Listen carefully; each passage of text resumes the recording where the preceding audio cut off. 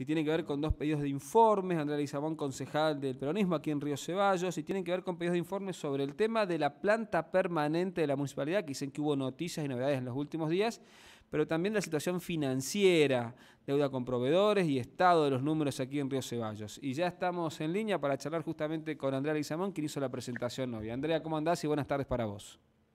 ¿Qué tal? Muy buenas tardes para todos los oyentes y para ustedes ahí en el estudio. Bueno, Andrea, contanos un poquito estos pedidos de informes que se presentaron hoy, puntualmente estos dos que vemos que ya tienen ingreso ahí en el Consejo Deliberante.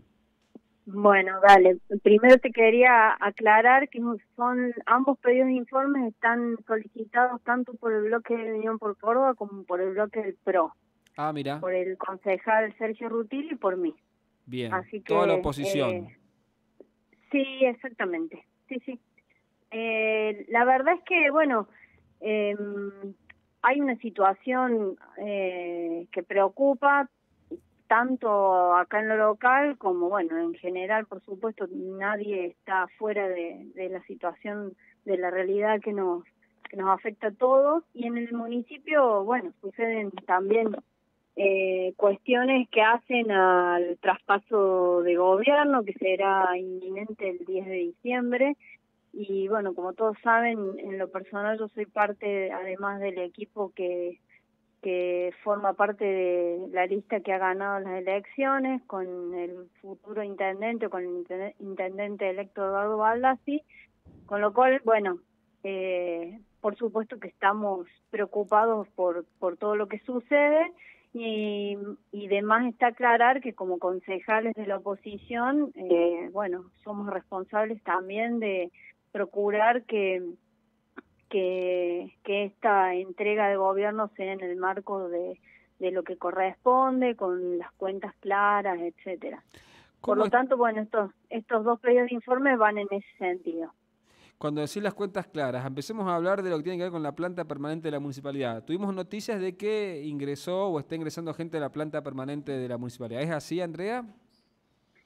Bueno, mira, eh, más allá de los de algunos trascendidos que pueden haber eh, habernos llegado a todos de manera informal, eh, nosotros lo que estamos haciendo es hacer un pedido de informe que, como vos bien dijiste, ingresó hoy, solicitando puntualmente que se nos se nos otorgue al Consejo Deliberante esta información acerca de la situación económica y financiera general del municipio, por un lado, y por otro lado, no menos importante, la nómina de funcionarios, de personal de planta permanente, de, de personal en categoría de contratados, de monotributistas y cualquier otra modalidad que, por ejemplo, los subsidiados que conocemos que es otra modalidad o, o becados que existen en el, en el municipio eh, para poder estar al tanto de cuál es cuál es la situación al respecto de esto o, bueno a ver si,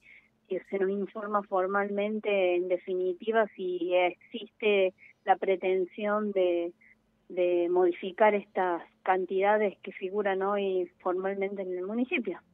¿Cómo está haciendo la transición? Ustedes eh, en este periodo, ¿ya hay contactos entre los funcionarios de uno y otro gobierno para conocer, por ejemplo, el detalle de cuáles son los números de la Municipalidad de Río Ceballos? ¿Eso ya comenzó, Andrea, o todavía no, no empezó ese, esa etapa?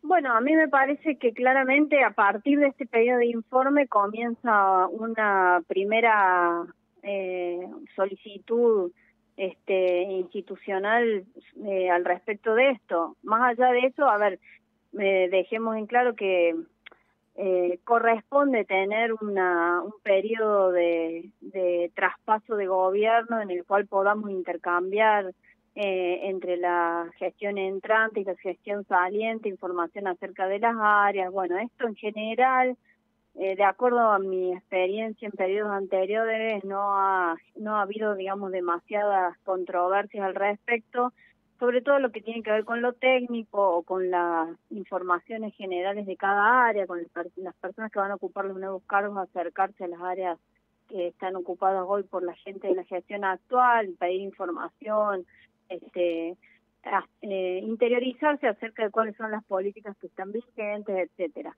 Nosotros tenemos planificado hacerlo a partir de esta semana, con lo cual nuestra primera acción es este periodo de informe.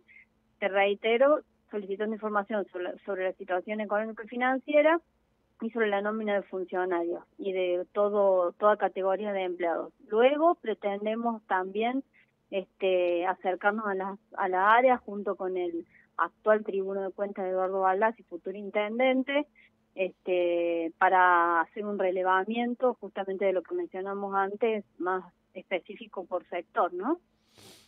Andrea, eh, ¿qué puede pasar entonces ahora en el Consejo Deliberante? Este pedido que haces vos con el concejal del PRO, decimos toda la oposición, se tiene que tratar el miércoles, eh, ¿cómo, cómo deberían ser los pasos a, a seguir y qué expectativa tenés con respecto a este pedido?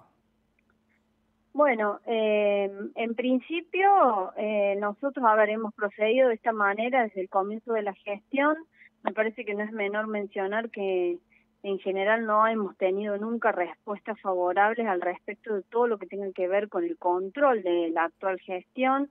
Esta gestión se ha caracterizado por ocuparse de, de impedir justamente el control ciudadano, eh, sobre todo a través de de, proyectos como el de presupuesto, ¿no? En donde ellos se habilitan este, a, a contratar por, por hacer contrataciones directas, por ejemplo, por, montos altísimos, que tiene que ver con el otro pedido de informe que presentamos hoy también, puntualmente sobre un proveedor, este, en el cual también solicitamos que se nos informe cuáles cuáles han sido los procedimientos para contratar este proveedor, eh, un listado de trabajos realizados y una certificación de las tareas ejecutadas, ya que el monto para este señor cuyo nombre, apellido es Gandía, se eleva a un casi un millón cuatrocientos mil pesos.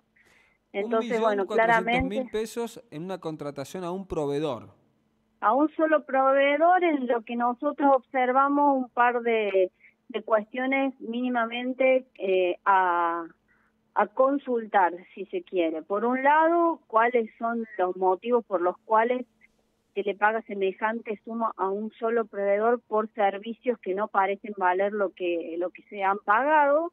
Eh, esto está habilitado eh, por ejemplo, por el, por el proyecto de presupuesto, como decimos antes, en donde ellos se han habilitado un monto de contratación directa altísimo, pero nosotros queremos saber cuáles son los motivos de las contrataciones, las certificaciones de los trabajos realizados, el listado exacto de las tareas, en fin. Y por otro lado, lo que cabe acá mencionar es que no se entiende cuáles son los criterios por los cuales se prioriza este, este millón, casi cuatrocientos, casi millón cuatrocientos mil pesos ya ha sido abonado en su totalidad, cuando en la situación en la que estamos sabemos que ni siquiera se ha, digamos, se ha priorizado este pago ante otros pagos que la verdad es que resulta insólito que no no se hayan pagado, como por ejemplo servicios de salud, ¿no es cierto? Monotributistas de salud que se han pagado último momento el mes pasado, incluso otros proveedores que, bueno, la verdad es que están todavía también esperando que se les paguen sus servicios. Este, no se ha pagado, por ejemplo, tampoco las autoridades de mesa del acto eleccionario que tuvimos municipal. Esto es una obligación, pagar a las autoridades de mesa del acto eleccionario es una, una obligación de, de, que asumió este intendente y esta gestión al definir y al concretar las, las elecciones de nuestro municipio. Por lo tanto, eh, la verdad es que queremos saber cuál es el motivo, cuáles son los criterios por los cuales se prioriza pagar un millón cuatrocientos mil pesos a un solo proveedor y en qué condiciones, porque realmente, eh, bueno, estamos esperando que se nos, se nos dé la información que solicitamos este, y se prioricen esos pagos antes de estos otros que mencionaba anteriormente, ¿no? Bueno, Andrea, eh, esperemos ahora a ver qué pasa en el Consejo Deliberante con la presentación de los informes y ahí te volveremos a llamar para que nos cuentes cómo fue entonces ahí en la sesión. Los dos temas son temas que hacen justamente a lo que está pasando, lo que se está hablando mucho sobre la situación económica del municipio y queremos saberlo también nosotros y si es posible que los que escuchan y siguen en esta radio también estén enterados de lo que está pasando. ¿eh? Por supuesto, déjame un minutito aclararte porque me habías preguntado antes y no te respondí. El procedimiento sería que han ingresado hoy los pedidos de informe. Esto se trata el miércoles próximo y se vota en el, en el Consejo Deliberante eh, a favor de pedirse como cuerpo eh, como cuerpo entero, digamos, del Consejo en su totalidad, el informe al, Departamento Ejecutivo o en contra.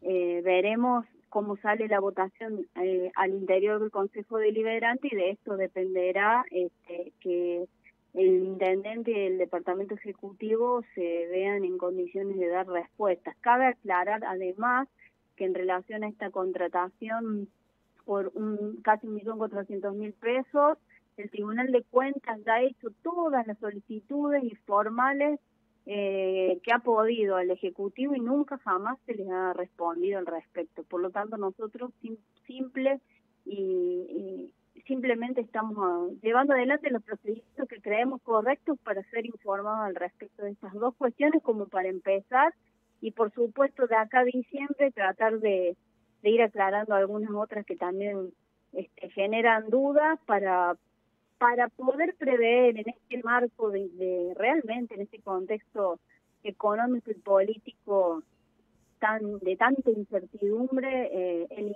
poder prever el ingreso al mando y a la gestión el 10 de diciembre con la mayor previsibilidad posible no Vamos a seguir aquí en Buenavista Radio las dos cuestiones, ¿no? ¿Por qué algunos cobran tan rápido, otros parece que no tienen la misma suerte? Y sobre todo, ¿en qué y por qué se le pagó ese monto? Además de lo que pasó con la planta permanente. Te comprometemos para la próxima. Gracias, Andrea. ¿eh? Muchísimas gracias a ustedes y a disposición. Dale. Andrea,